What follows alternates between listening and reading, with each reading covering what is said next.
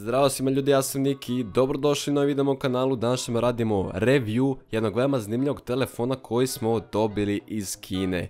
Pre samog početka klipa da vam kažem, ako ste zainteresovani za ovaj telefon, da ga uzmete, to da ga kupite od mene, pošto sam ja bukvalno nedelju dana pre nego što sam dobio ovaj telefon, kupio moj S8, to jest uh, Samsungov S8, koji sad trenutno koristim, tako da ako ste zainteresovani za ovaj telefon, otkupite od mene, naravno ostanite do kraja klipa da vidite kakav je u stvari ovaj telefon. Opičite like i subscribe ako ste novi i možemo da krenemo. Ovaj telefon se zove Homtom S8 i on dolazi sa ekranom od 5,7 inča. Njegova na slike, to jest aspect ratio je 18 prema 9, što vam daje tanji i duži prikaz slike od ekrana slične veličine uređaja sa odnosom slike 16 prema 9. Rezolucija ekrana iznosi 1440 x 720 linija, što baš nije najbolja rezolucija koju možete naći na tržištu, ali svejedno daje veoma dobre boje i oštar tekst. Čitljivost pod sunčanom svetlošću je također veoma dobra, ali Hontom je mogao mnogo bolje da uradi da je svom S8 dao Full HD ekran. Kvalitet materijala Hontom S8 je dobar, a uređaj je još izdržljiviji od Samsung Galaxy S8 koji ja trenutno imam,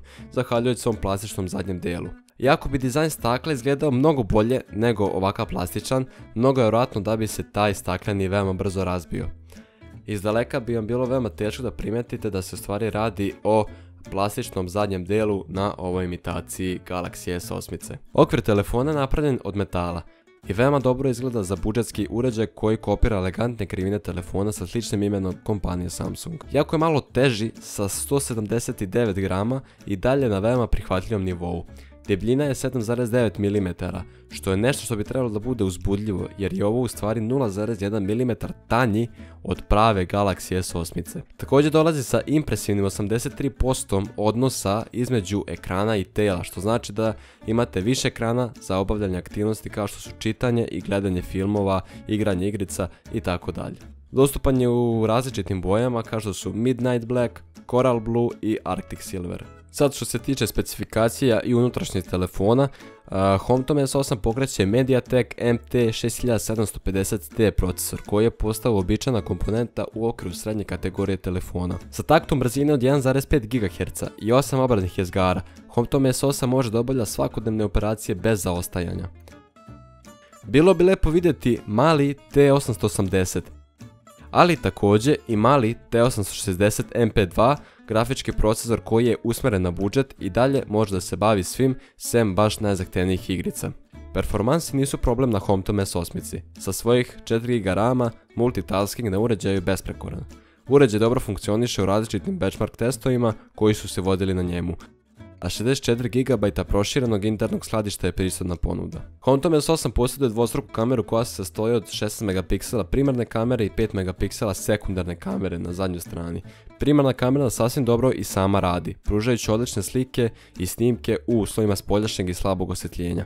Sekundarna kamera čini se nepotrebnim dodatkom s obzirom da ima veći procent propusta kada se koristi za snimanje portretnih fotografija. Zamućenje pozadine dodato slikama nije baš savršeno, ali pošto je to opcijona funkcija, možete je sasvim slobodno odabrati da je ne koristite uopšte. Kamera od 13 megapiksela na prednjoj strani Homtom S8 slika pristojne selfije, a video snimanje je također pristojno. Ipak, fotografisanje pri slabom osvjetljenju je problem, jer ne dolazi sa LED blicom na prednjoj strani, za razliku od dvojnog LED blica koji prati zadnje kamere.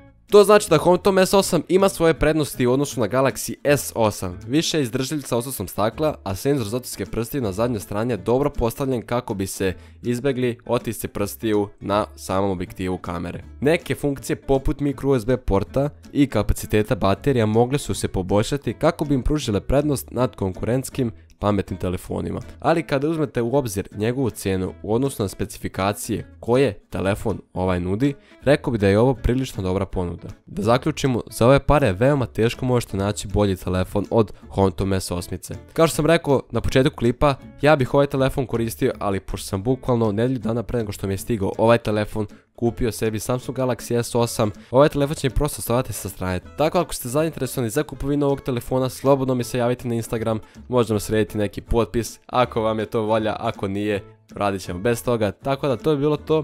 Ja se nadam da vam se svide ovaj review, ako jeste lupite like, šerujte klip da vide vaši drugari i subscribeujte se naravno ako ste novi. To bi bilo to od ovog klipa, do sljedećeg puta, goodbye.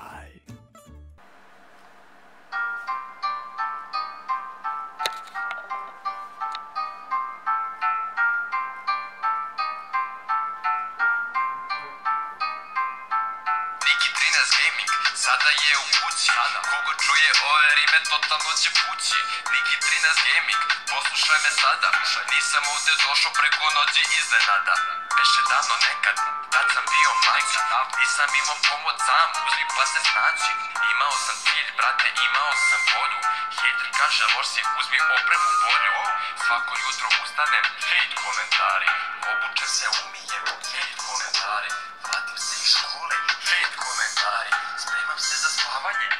komentari Mnogi nisu vidjeli moj cilj i moju viziju Svaki uz smo gledali baš kao ravnu niziju Iskreno ne zanima me da ću nekom voditi Snimam na